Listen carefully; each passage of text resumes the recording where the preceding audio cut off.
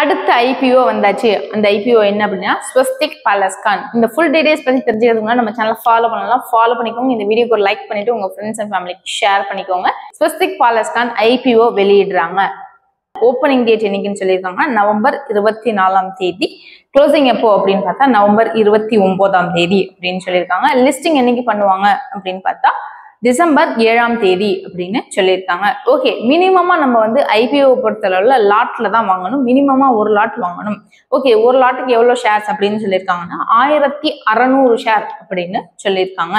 ஒரு ஷேரோட minimum price என்ன அப்படின்னா எண்பதுல இருந்து எண்பத்தி ஆறு ரூபாய்க்குள்ள இருக்கும் அப்படிங்கிற மாதிரி சொல்லியிருக்காங்க. ஓகே இந்த ஐபிஓவை நீங்க வாங்கணும் அப்படின்னா ஒரு தடவை செல்ஃப் அனலைஸ் பண்ணி பார்த்து தாராளமா இன்வெஸ்ட் பண்ணலாம். இந்த ஐபிஓ உங்களுக்கு வாங்கணும்னு ஆசையா இருக்கா? நான் எப்படி வாங்குறதுன்னு தெரியல அப்படின்னா தாராளமா நீங்க கமெண்ட் செக்ஷன்ல கமெண்ட் பண்ணுங்க உங்களோட நம்பரை எங்களோட டீம் மெம்பர்ஸே உங்களுக்கு கால் பண்ணி எப்படி இந்த ஸ்டாக் எல்லாம் ஹோல்ட் பண்றேன்னு சொல்லி கைட் பண்ணுவாங்க. தேங்க்யூ